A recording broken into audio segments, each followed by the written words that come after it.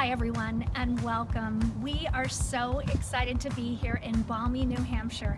It's 55 degrees and we are sharing with you the campus of Southern New Hampshire University where Dillon goes to school.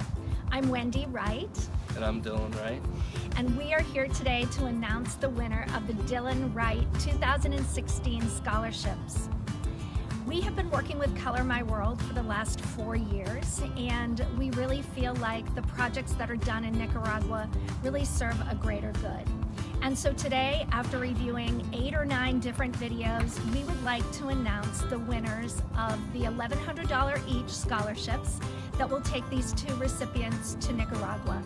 What we do want to say is that all of the videos, the teens that were in these videos, every one of them are winners. So regardless of who we award this scholarship to, we are proud of the work that you're doing and we encourage you to continue to do this work throughout the, throughout the world.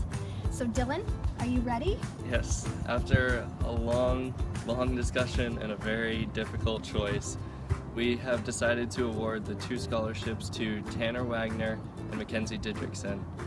Congratulations. Both, both videos were amazing. Congratulations. Keep up the great work. Can't wait to see you in Nicaragua.